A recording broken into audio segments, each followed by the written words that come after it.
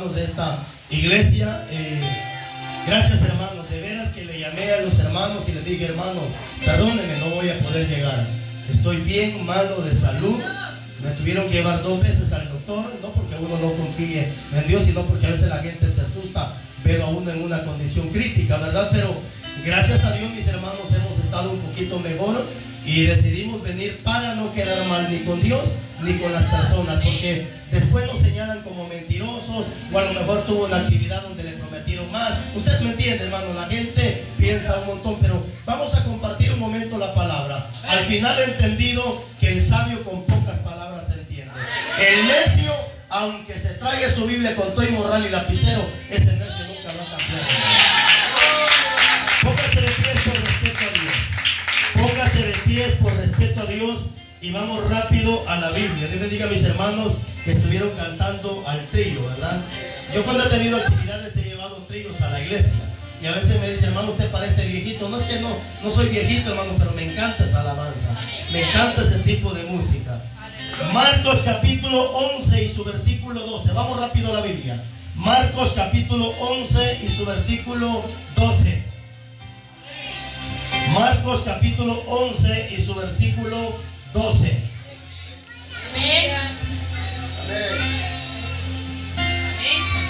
¿Lo tiene? En las letras negras de arriba, ¿cómo dice? Maldición de la higuera. Maldición de la higuera.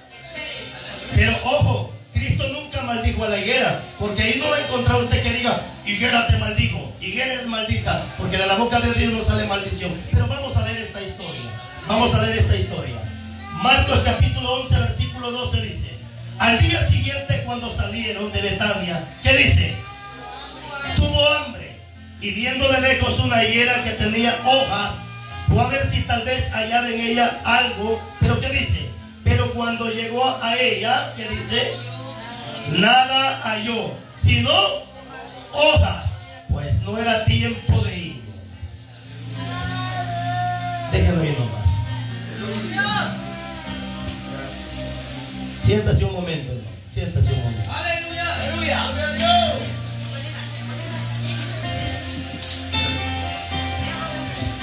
Muy bien, iglesia, concentrémonos un momento en estos versículos de la Biblia y dejen que Dios hable y haga lo que tiene que hacer. ¿Cuántos creen que estamos viviendo tiempos difíciles y finales? ¿Cuántos creen que estamos viviendo tiempos difíciles y finales? ¿Sabía usted que exactamente el día de hoy entró una noticia para muchos malos aquí en Guatemala? Una noticia donde por primera vez en Guatemala el día de hoy se diagnosticó a una persona de 31 años ya con esa ingrata enfermedad que se llama la viruela del mono. Ya está en Guatemala, gracias a Dios. Pastor, ¿y por qué gracias a Dios? Porque si no se están cumpliendo las señales que Cristo dejó, yo podría pensar que Cristo es mentiroso. Pero Él me dijo que antes de su venida iban a haber pestes en esta tierra, iban a haber enfermedades en esta tierra, pero también prometió que iba a estar con nosotros todos los días hasta el fin del mundo. Y Cristo dio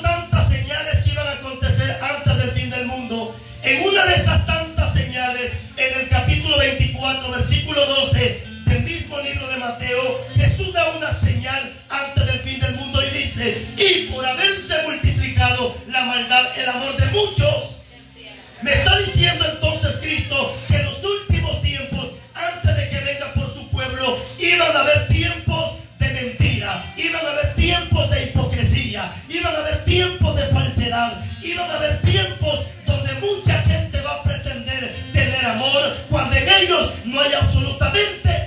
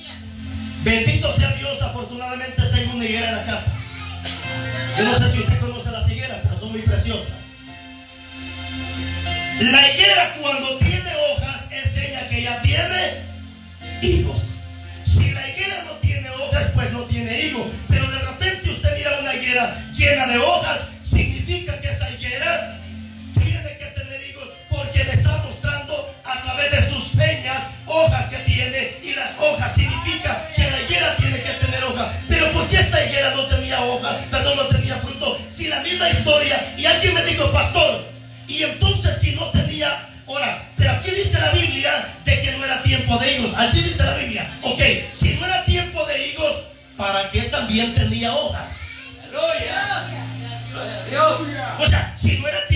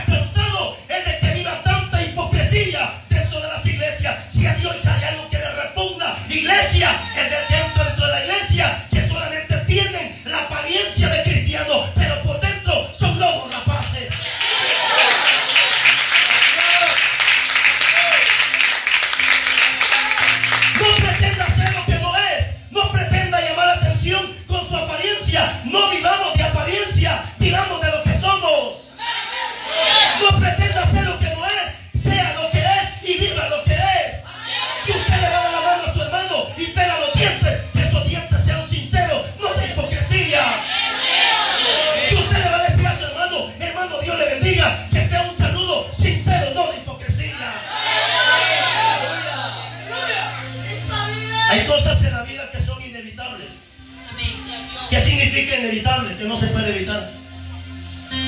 Y hay cosas que en la iglesia son inevitables, es decir, no se pueden evitar. Por más que usted predique, reprende, exhorta, hay cosas que nunca se podrán evitar dentro de la iglesia. ¿Cómo así, pastor? Por ejemplo, es inevitable que en la iglesia haya trigo y haya cizaña. Por más que el pastor reprenda, predique, exhorte y haga lo que haga, siempre habrá trigo y siempre habrá cizaña.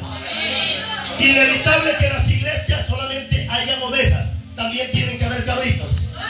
Por cierto, miren la cara del que está a su lado si tiene cara de oveja o cara de cabro. Miren la cara.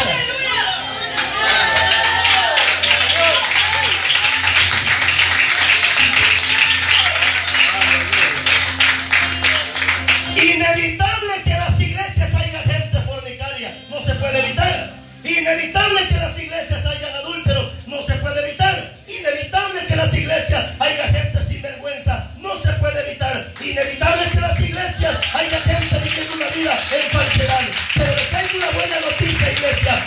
Sí podemos evitar ser los carros de la iglesia. Sí podemos evitar ser la cizaña de la iglesia. Sí podemos evitar ser esos sinvergüenza. Y sí podemos marcar la diferencia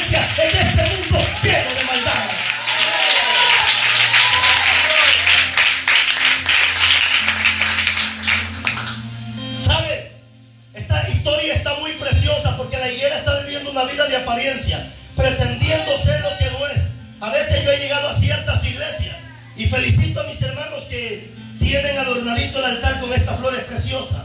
Hermanos, aunque sean flores baratas, pero que sean flores naturales. Cuando usted trae flores muertas al altar, son igual que usted. Flores muertas.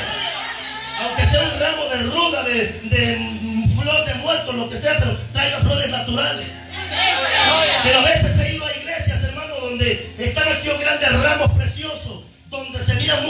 lindos los ramos y bien preciosos, pero para sorpresa que cuando usted llega y los toca, no son originales, sino son falsos. Y eso es lo que pasa hoy en día, que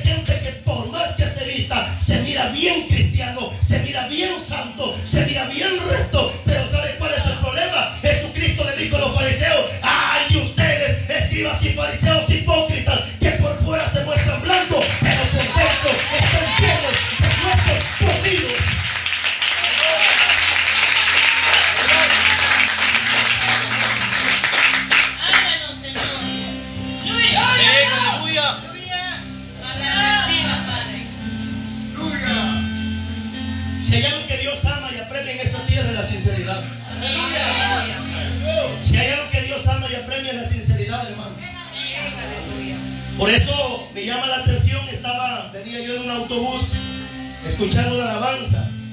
Aquella famosa alabanza que cantó el, sacó este cantautor, este, bueno, se llama, le dicen Rabito, pero no se llama Rabito, ¿verdad? Eh, aquella bonita alabanza que dice, sinceridad, Dios está pidiendo de su pueblo, sinceridad. ¿verdad? ¿Sabe cuál es el problema? Que hay gente que se atreve a venir al altar a orar y a tirar moco si es posible y lágrimas. Pero Dios conoce que su corazón tiene alguien que no lo puede ver. Dios conoce que su corazón hay alguien que no lo puede ver y que no lo traga y que le cae mal o que le cae gordo como dijo una persona. Antes se cantaba aquí alabanza que decía, ¿cómo puedes tú orar enojado con tu hermano? Dios él no escucha la oración. Él no escucha la oración. Si no te has reconciliado. Iglesia amada. Iglesia en el amor de Jesús. Aprendamos a ser sinceros. No vivamos de apariencia. No pretenda usted quedar bien con la gente. Ni que la gente diga qué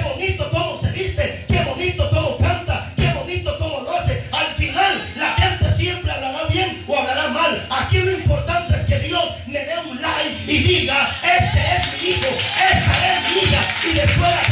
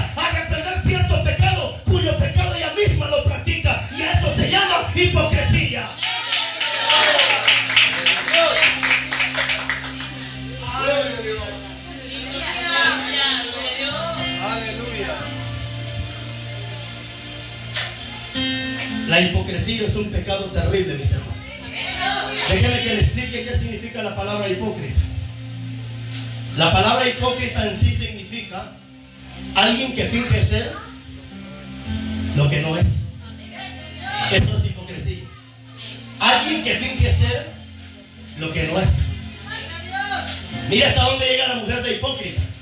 Así es de chaparrita y se compra unos grandes tacones así. ¿Por qué? ¿Por qué cree usted? Porque como es chaparrita y con los grandes tacones se quiere ver más alta. No sea hipócrita si Dios te hizo chaparra, Dios te hizo chaparra, no pretenda ser lo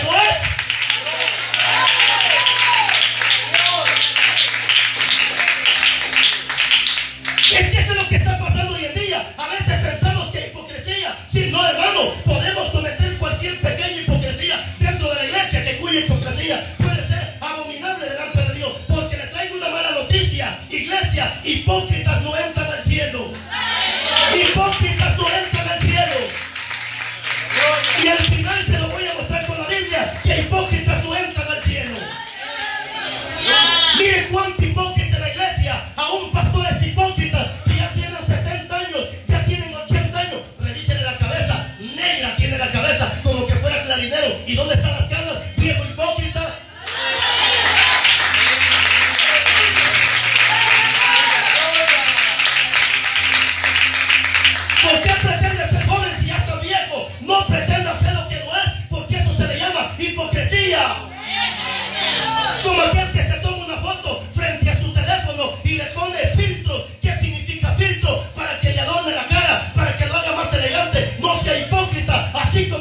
hizo, lo hizo.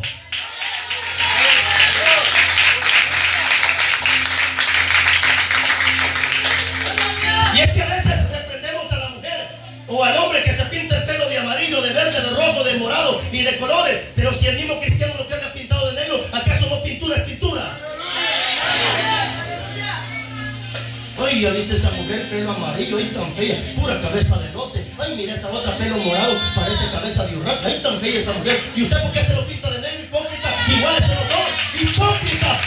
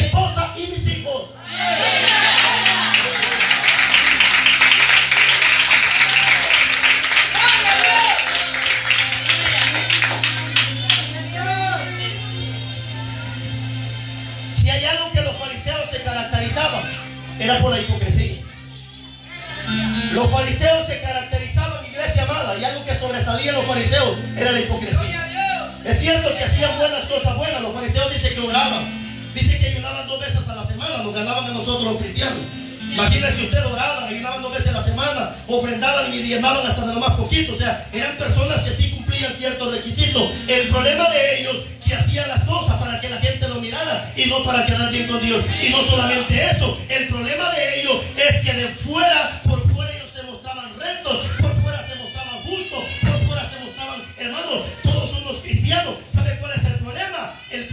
era cómo estaban por dentro. No le estoy diciendo que no cambie por fuera. Hermana, preocúpese y preocupémonos en cambiar por fuera. Pero lo más importante es que cambiemos por dentro. Y cuando cambiemos por dentro, el cambio se va a reflejar por fuera. Porque primero es por dentro y después es por fuera. De nada sirve que usted esté bien por fuera si por dentro está podrida.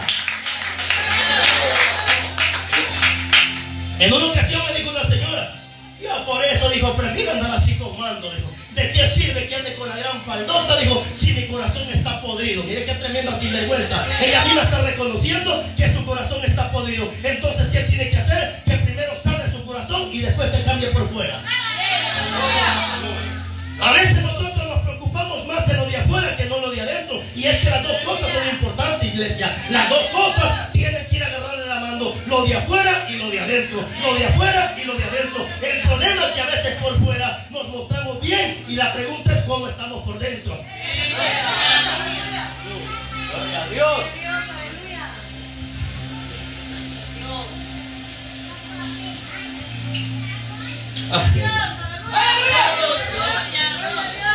Bendito Dios. Aleluya. Hay un versículo en la Biblia que a mí me da a veces un poco de temor. Porque nosotros simplemente podemos ver y juzgar lo que está afuera. Podemos ver y juzgar lo que está afuera, porque la Biblia dice que así podemos juzgar, pero no conforme a las apariencias, sino con justo juicio. Y nosotros los seres humanos solamente podemos ver y juzgar las cosas que están por fuera.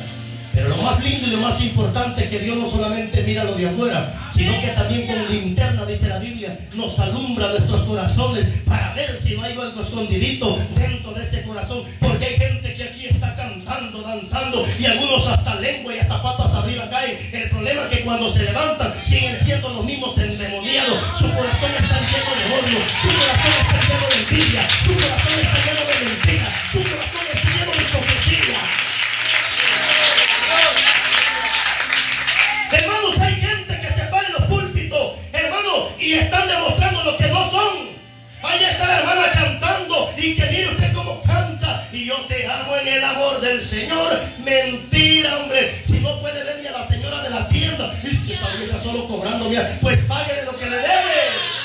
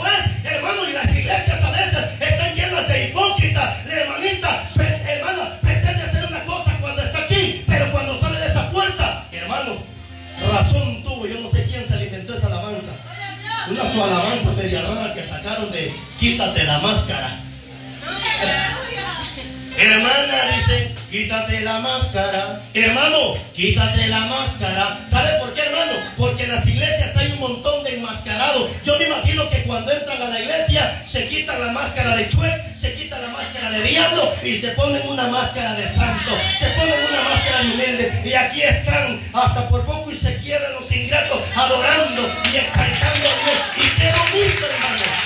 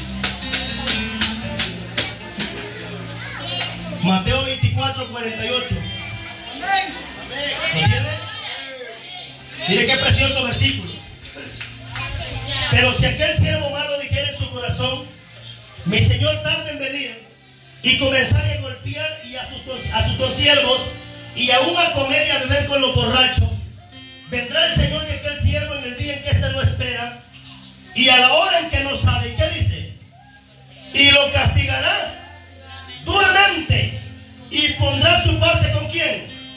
Con los hipócritas. Ahí será el lloro y el crujir. ¿Qué significa eso? Infierno. Ahí será el lloro y el crujir de muerte. ¿De quién? De los hipócritas. De los hipócritas.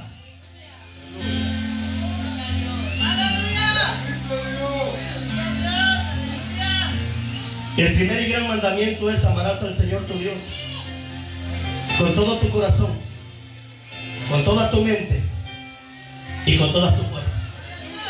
Y el segundo es igual. Ama a tu propio como a ti mismo. Iglesias hayan adúlteros, no se puede evitar. Inevitable que las iglesias haya gente sin vergüenza, no se puede evitar. Inevitable que las iglesias haya gente viviendo una vida en falsedad. Pero les tengo una buena noticia, iglesia. Sí podemos evitar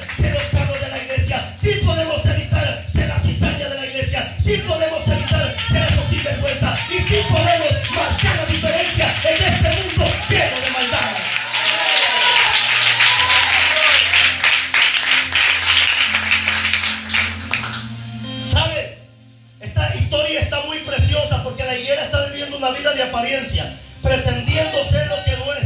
A veces yo he llegado a ciertas iglesias y felicito a mis hermanos que tienen adornadito el altar con estas flores preciosas. Hermanos, aunque sean flores baratas, pero que sean flores naturales. Cuando usted trae flores muertas al altar, son igual que usted. Flores muertas. Aunque sea un ramo de ruda, de, de mm, flor lo que sea, pero traiga flores naturales. Pero a veces he ido a donde están aquí los grandes ramos preciosos, donde se miran muy lindos los ramos y bien preciosos, pero para sorpresa que cuando usted llega y los toca, no son originales y no son falsos. Y eso es lo que pasa hoy en día, que hay gente que por más que se vista, se mira bien cristiano, se mira bien santo, se mira bien recto,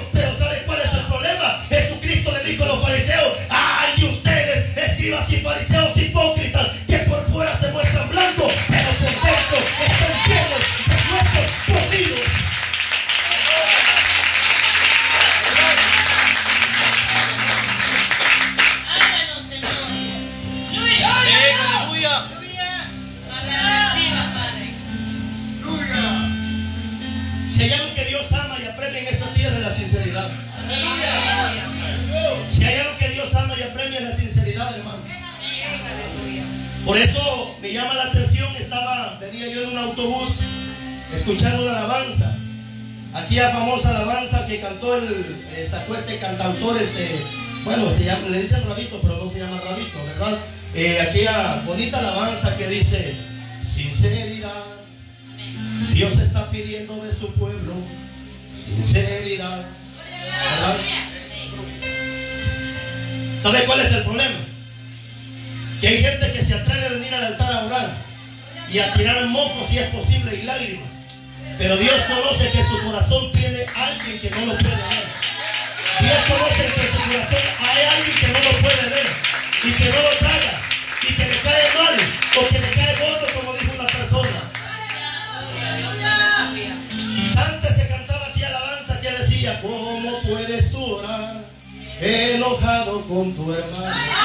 Dios, Él no escucha la oración, Él no escucha la oración, si no te has reconciliado.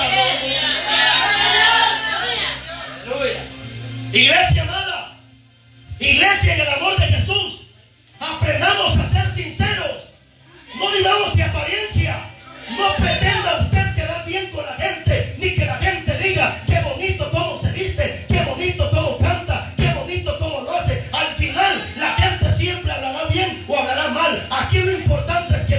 Me dé un like y diga, este es mi hijo, esta es mi hija, y después la gente estará contenta con lo que yo en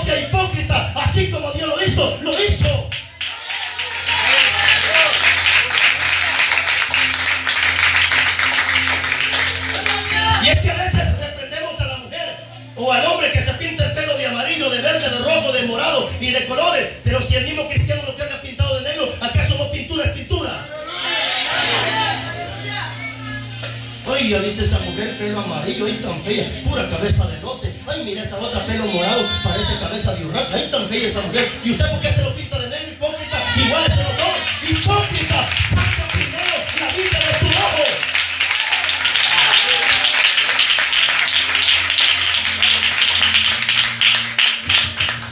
Y ese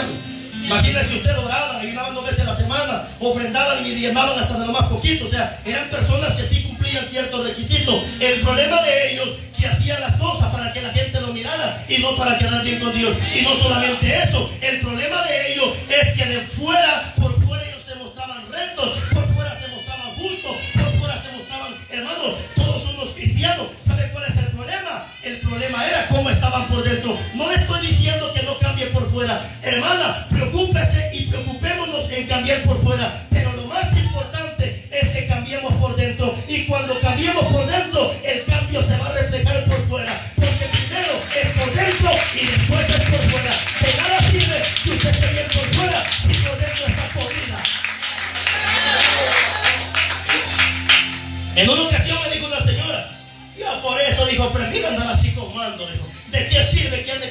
faldota? Dijo, si mi corazón está podrido. Mire qué tremenda sinvergüenza. Ella misma está reconociendo que su corazón está podrido. Entonces, ¿qué tiene que hacer? Que primero sale su corazón y después te cambie por fuera. A veces nosotros nos preocupamos más de lo de afuera que no lo de adentro. Y es que las dos cosas son importantes, iglesia. Las dos cosas tienen que ir agarrar de la mano. Lo de afuera y lo de adentro. Lo de afuera y lo de adentro. El problema es que a veces por fuera nos mostramos bien y la pregunta es cómo estamos por dentro. Gloria a Dios.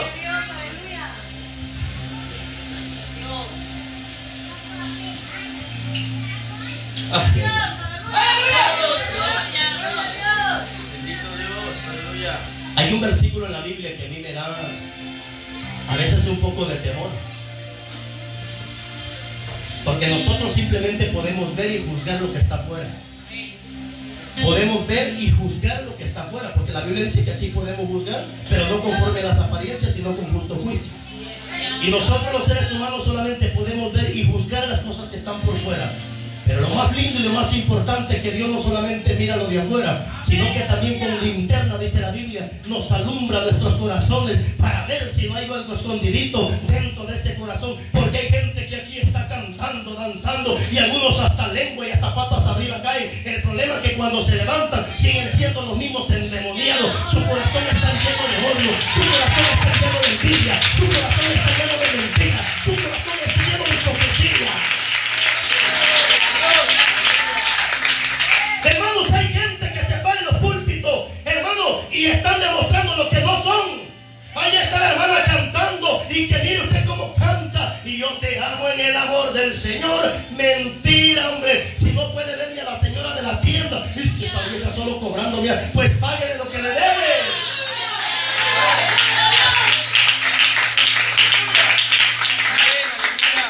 Miren que ya hay gente hipócrita cantando. Yo no me quedo, me voy con él. Ya pagó lo que debe. Ya le pagó el tiendero.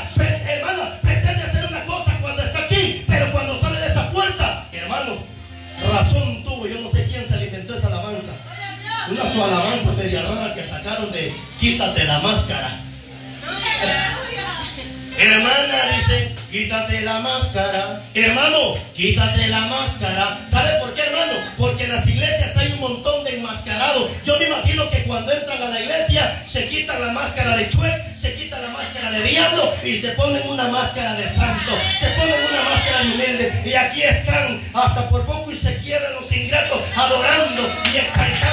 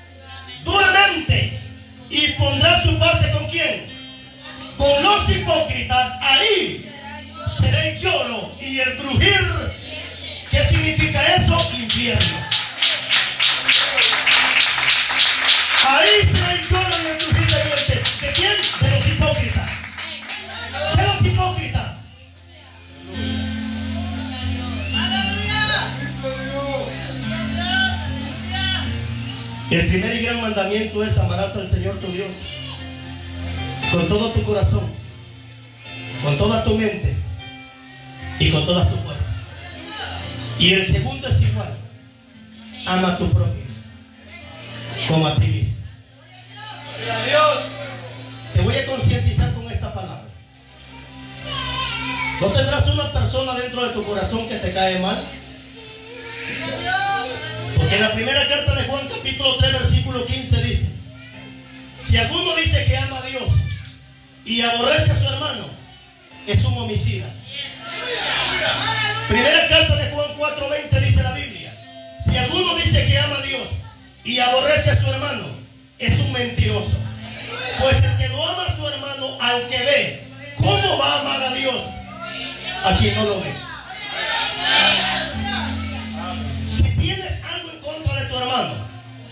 Si tienes odio en contra de alguna persona, yo te diría en el amor de Jesús, aprende a ser sincero y ve al altar y dile, Señor, tú que conoces mi corazón, Padre amado, sabes perfectamente que hay una persona que no me... Hermano, sé sincero con Dios.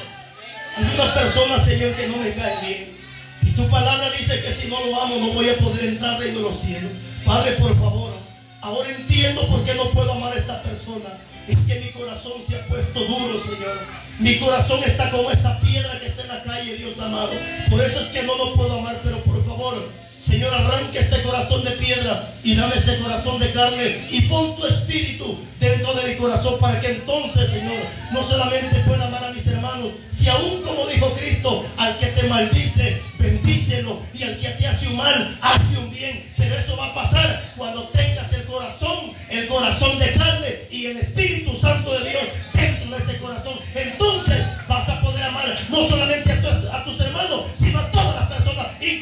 a los que te maldicen. Póngase de pie, hermano.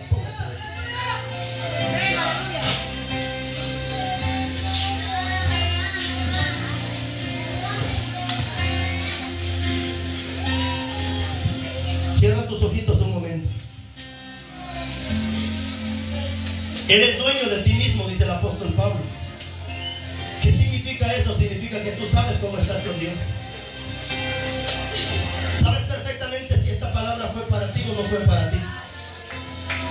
Deja al que no vino, preocúpate por ti que veniste el día de hoy. Y considérate a ti misma y dile, Señor, si en mí hay hipocresía, perdóname. Porque a veces somos tan hipócritas que venimos al altar y decimos, Señor, por si al caso te he fallado, perdóname. Cuando en el día estuvimos escuchando música mundana, en el día estuvo viendo telenovelas, películas de adulterio y fornicación e idolatría, escuchando y viendo basuras en el teléfono. Y todavía se atreve la gente a venir de hipócrita diciendo, Señor, perdóname, por si al caso, cuando ellos saben perfectamente que sí le han fallado a Dios. Vamos hermana, dígale Señor, gracias Señor. Padre, no puedo decirte otra cosa más que gracias. Porque en mi humana manera de pensar, Dios amado, pensé que no iba a lograr venir esta actividad. Pero en tus perfectos planes ya estaban que sí iba a poder venir, Padre. Gracias Dios amado por tu palabra que hemos compartido, por tu palabra que hemos enseñado, por tu palabra que ha llegado, Padre, a donde tenía que llegar, por tu palabra que se ha compartido como tenía que compartirse, Padre amado. Yo sé que tu palabra ha llegado y dará fruto, Padre, el 30, al 60 y al 100 por uno, Dios mío. En el nombre de Jesús de Nazaret. Si alguien te está pidiendo perdón, Padre, perdónalo. Si alguien está reconociendo su falta, perdónalo.